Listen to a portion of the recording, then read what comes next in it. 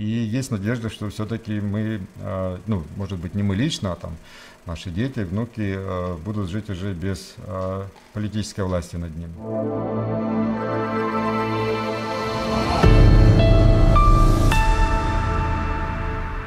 У меня надежда на то, что государство, особенно государство всеобщего благосостояния, это все-таки такое современное явление, да, там сто лет и даже там, ну да, уже уже сто лет можно сказать.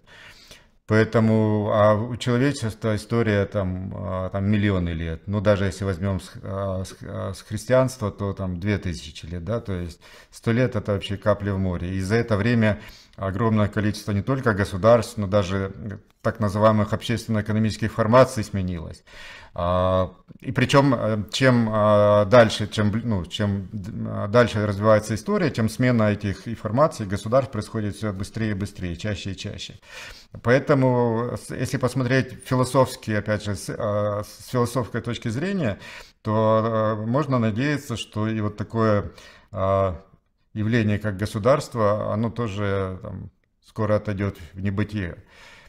У меня такое мнение. Ну и причем это можно даже наблюдать, ну, подтверждается какими наблюдениями на практике, потому что государство, мы знаем, что оно просто держится на мировосприятие людей, то есть содержится в голове людей. А если люди посчитают, что государство это э, не то, что что-то даже плохое, а то, что им не нужно, никакой пользы от этого нет, то государство сразу исчезнет. То есть, ну, представьте, что все люди в Украине будут считать государство, что это такое, зачем это нужно, глупость какая-то. У нас тут э, мы, мы и так э, друг с другом нормально взаимодействуем, и оно только все ухудшает. Представьте, что все люди так считают. Никакого государства нет, все. То есть, если даже кто-то попытается что-то там навязывать, все будут относиться относиться это просто как к какой-то банде, там, причем она будет немногочисленна, немногочисленна. То есть сейчас все эти силовые ведомства, а, организации, они вроде бы многочисленны, но только потому, что а, они знают, что люди это поддерживают. Вот часто а, там до войны, когда там публиковали, ну, особенно когда но, так называемая новая полиция, там патрульная появилась. Часто были такие ролики, когда а, а, патрульная полиция там над кем-то издевается, ну, оставила какого-то водителя, вытащила из, из машины, там, а, выламывает руки-ноги, там, об асфальт вытирает лицом и так далее. А, ну, то есть явно там нарушает все даже собственные государственные законы, и причем остановила за какую-то глупость, даже вообще человек ничего не нарушил и так далее. И стоит, ну, то есть вот это два полицейских этим занимаются. Ну, во-первых, почему это, а вокруг стоит там, не знаю, там 50 человек и говорят, ой, ребята, мальчики, зачем вы это делаете, вы же э, должны защищать нас, а зачем вы это, мальчики, там, перестаньте. То есть, во-первых, сам, э, кого э, полицейские там э, издеваются, на которым он считает, что э, они имеют на это право, да, они там чего-то нарушают, там он чего ничего не совершал, но он э, относится к тому, как они, в принципе, имеют право на это делать. Хотелось бы, чтобы не делали таким образом, да, но в принципе они же власть, они полиция, имеют право делать. Народ вокруг тоже считает, что, ну, в принципе, а, если они хотят, они это могут делать, ну, хотя бы это, как бы вроде бы это не совсем правильно.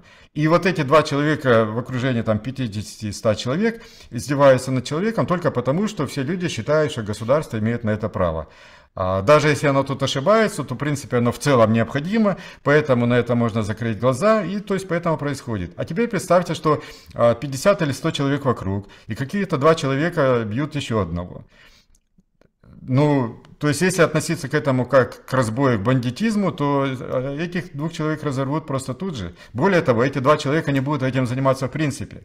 Потому что они знают, что если они начнут этим заниматься, люди их просто разорвут. Не говоря уже о том, что если мы говорим, что никто не запрещает а, людям иметь оружие, кто э, считает, что ему это нужно, там, и может себе позволить и так далее. То есть, этого просто не будет происходить. Это вот как яркий пример той же а, с Молдовой, когда у них там, не помню уже там 30 или 20 лет назад, когда разрешили огнестрельное оружие, там пистолеты даже и так далее, то а, это ну, явно было, это постоянно было там во всех информационных там сообщениях, что вот как только разрешили людям носить а, пистолеты с собой, уровень преступности упал в разы. То есть, ну, буквально, то есть даже драки в баре просто прекратились. Да почему? Да потому что раньше кто посильнее, ну, посчитал, там, слабому можно морду набить, или если там несколько их человек и так далее. Ну, просто или в пьяном угаре, там, или там а, молодежный, там, э, как это там, зашкаливает у него там гормоны и так далее. Это было нормально. А теперь, когда каждый понимает, что, ну, в принципе, в баре ж, а, никто не запрещал людям пистолеты с собой, возможно, у кого-то есть пистолет. То есть это не значит, что у всех есть, да, но у кого-то может быть. И поэтому зачем это делать? То есть можно шпулю получить. Да, с тем будут потом разбираться, там, может быть, там еще и посадят или еще что-то, но э, тебе тоже будет все равно.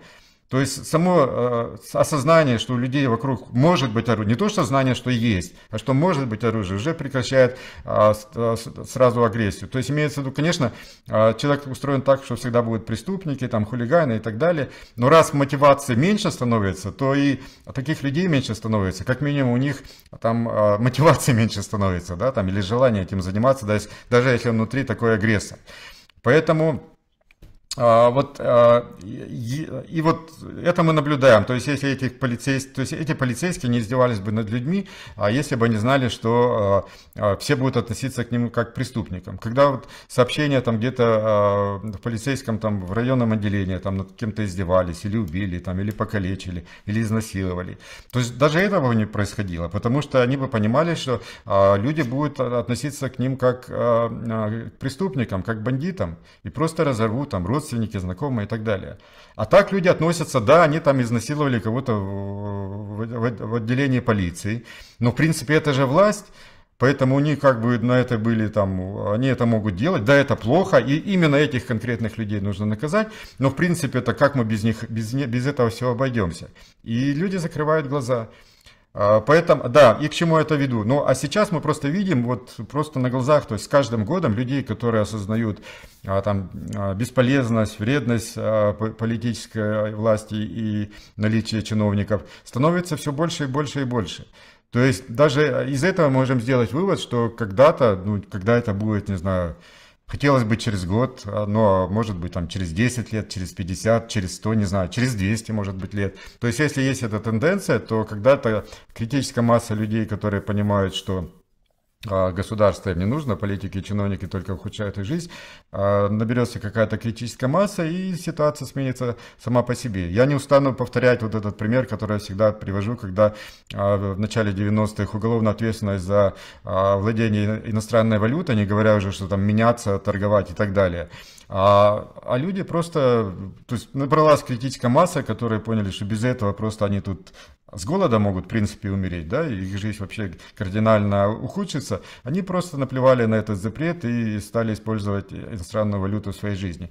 И все, собственно, это государственное регулирование отошло на нет. И это, кстати, самое, а, если это можно назвать реформой, это оказалась одна из самых долгоиграющих и стабильных реформ, а, которая произошла. То есть, когда люди сами к этому пришли, вот сейчас мы можем пользоваться иностранной валютой. То есть, а, э, само собой разумеющееся меняющиеся, да. Я всегда говорю, а если бы тогда а, был какой-то правительственный указ, что вот с сегодняшнего дня можно пользоваться иностранной валютой, и люди, и люди поэтому бы начали пользоваться, то потом бы появился государственный указ, который э, очередной раз запретил бы это делать, и люди бы перестали им пользоваться, потому что э, раз государство запретило, государство разрешило, то так и будет. А вот если люди уже сами пришли к такому образу жизни, то тут запретить уже проблематично, как бы государство э, это сделать не хотело. Поэтому я говорю, если мы наблюдаем, что больше людей начинают а, понимать и разбираться в общественных отношениях, в роли государства в жизни людей, то значит наберется какая-то критическая масса через какое-то время, и есть надежда, что все-таки мы, а, ну, может быть, не мы лично, а там наши дети, внуки а, будут жить уже без политической власти над ними.